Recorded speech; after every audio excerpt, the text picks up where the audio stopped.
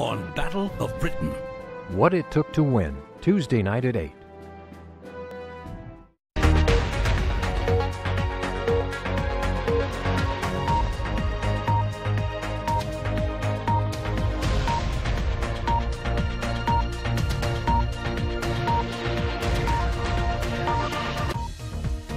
This is BBC World News America. Funding of this presentation is made possible by the Freeman Foundation, Newman's Own Foundation, giving all profits to charity and pursuing the common good for over 30 years, Kovler Foundation, and Union Bank. At Union Bank, our relationship managers work hard to know your business, offering specialized solutions and capital to help you meet your growth objectives. We offer expertise and tailored solutions for small businesses and major corporations. What can we do for you?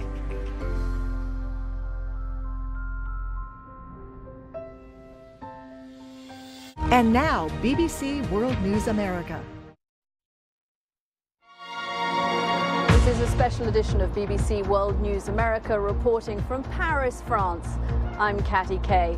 In an exclusive interview, the US Defense Secretary Chuck Hagel tells me Russia is still a real threat to Europe and defends the controversial release of Bowe Bergdahl.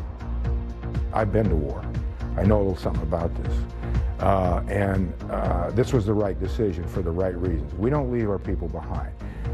Meanwhile, at the G7 meeting, the family photo is noticeably missing Vladimir Putin, but he's still a major topic of conversation. And in New York, I'm Laura Trevelyan with the rest of the day's news, including General Motors says a pattern of incompetence and neglect were to blame for a long delayed recall, but claim there was no cover up.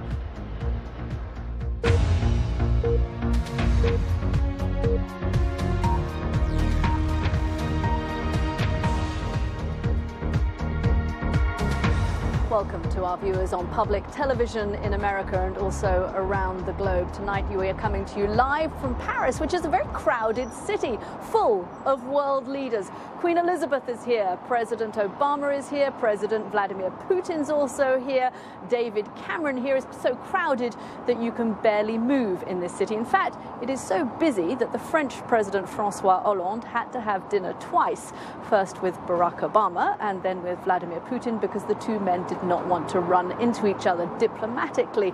Very tricky. It all comes ahead of the D Day commemorations in Normandy tomorrow.